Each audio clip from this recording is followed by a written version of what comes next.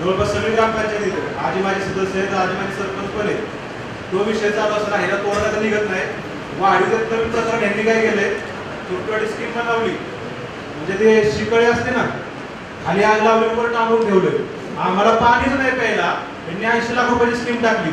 यांच्याशी बऱ्याच वेळा आम्ही संपर्क साधला की बाबा आमच्या स्कीमला पाणी पुरत नाही तर तुम्ही आम्हाला ती स्कीम कॅनलवरून किंवा नदीवरून द्या. ती स्कीम दिली तर स्कीम पण पूर्ण केली. जेव्हा कॉन्ट्रॅक्टर सोबत आता एकदा फायनल वर्क ऑर्डर मिळाला आम्ही कॉन्ट्रॅक्टरला प्रेशराईज करू शकत नाही तू काम करू नको.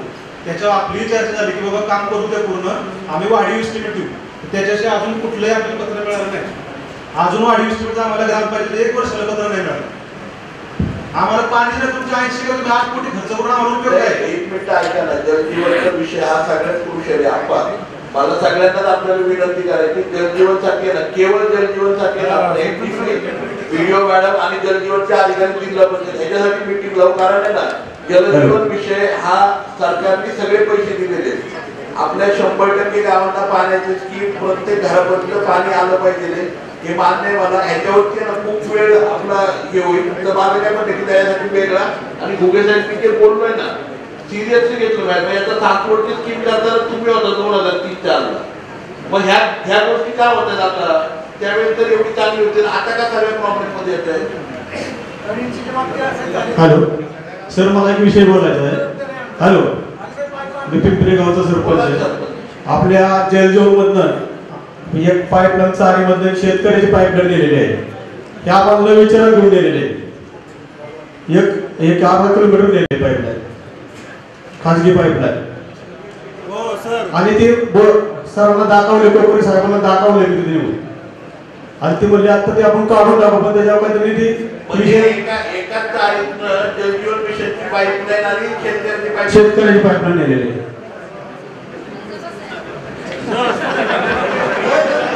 आणि त्याची आता कोकण साहेबांना दाखवलं बाबू पाच सहा दिवसापूर्वी. आणि आम्ही त्यांना विचारलंय. पत्र झडपीत पत्र दिलं होतं.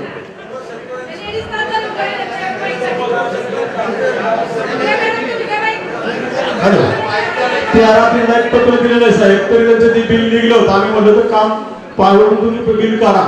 तर ती बिल निघलं नाही ती बिलाची तारीख मागितली होती. बिल किती तारखेला काढले? तर ती तारीख मला त्यांनी सांगितली नाही.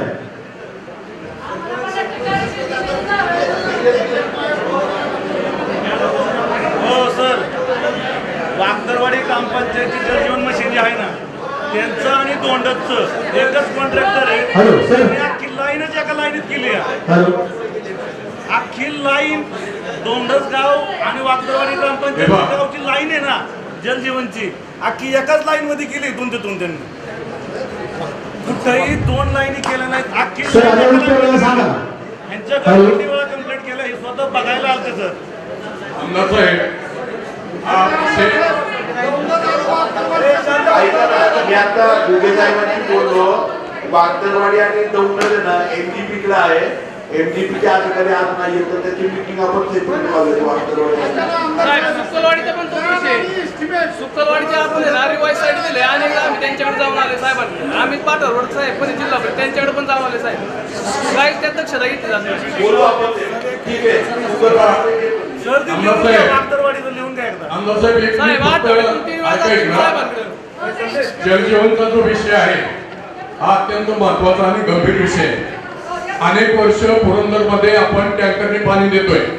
अनेक योजना जिल्हा परिषद एमजीपीच्या माध्यमातून त्या ठिकाणी पुरे केल्या परंतु सोर्स जे पकडलेले आहेत, त्या सोर्समध्ये सुद्धा पाणी आपल्याला त्या ठिकाणी उपलब्ध नाही.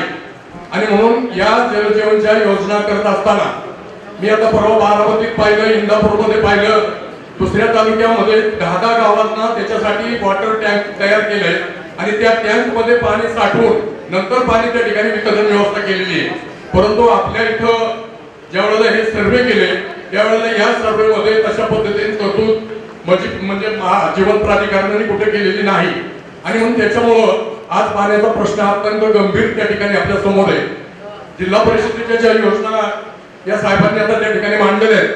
खरं तर पुरंदरमध्ये सर्वात जास्त मोठा प्रोग्राम आपल्या खासदार सुप्रियाताई सुळे आणि आमदार संजय जगताप यांच्या माध्यमातून जो डीपीआर केला त्या माध्यमातून खरंच जास्त निधी आपल्याला त्या ठिकाणी आला.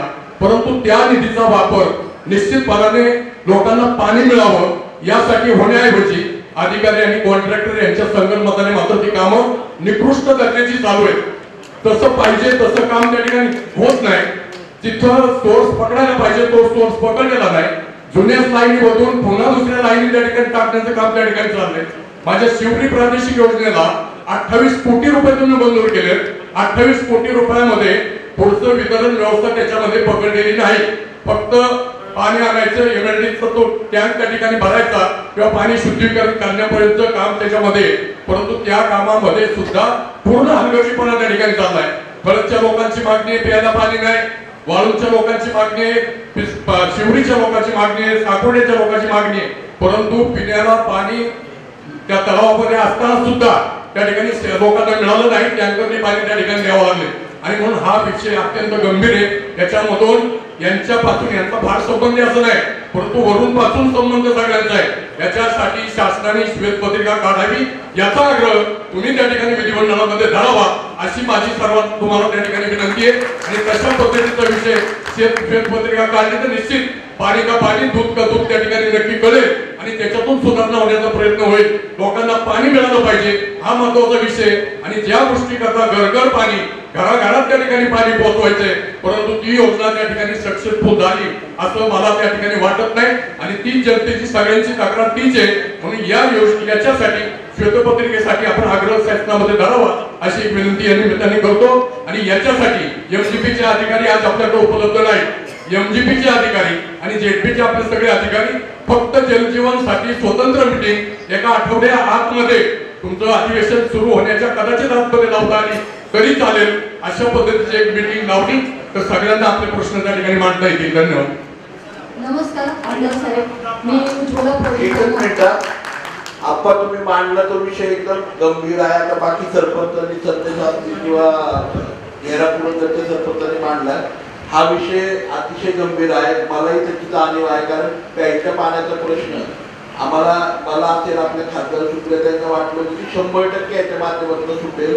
आपण कुठल्याही परिस्थितीमध्ये ना खरं म्हणजे आता ताईंची पण संसद चालू झाली आजपासून आणि आमच्याकडे गुरुवारपासून अधिवेशन चालू आहे. श्वेतपत्रिकेत मागणी करतोय परंतु ह्याच्यात कुठला एक वर्किंग डे जर मिळाला तर निश्चितपणे आपण त्वरित मिटिंग त्याची लावूयात.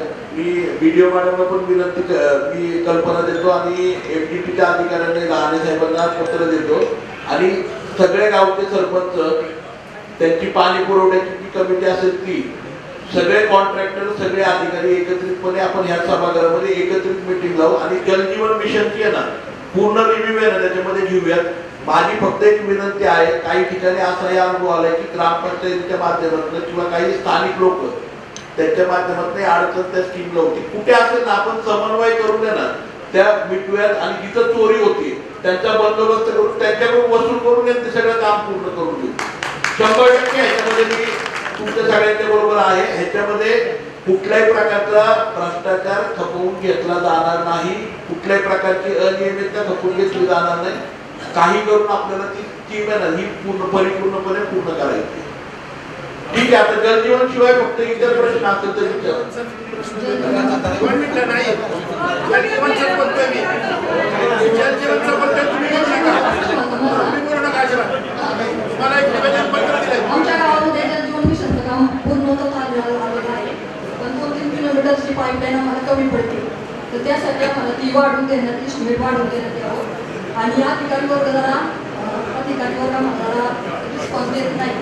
त्याबद्दल जरा मदत करावी आणि दुसरा विषय असा आहे की वीर पालखी मार्ग आमच्या गावातून जातो.